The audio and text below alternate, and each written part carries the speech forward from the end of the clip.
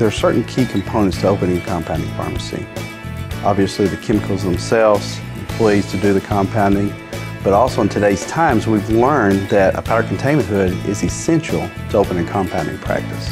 Safety is paramount among all of us that are in that laboratory.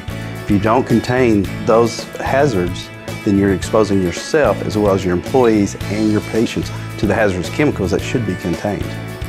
Just as PCCA is a gold standard when it comes to compounding chemicals and supplies, what we found was that flow science was the gold standard when it came to powder containment.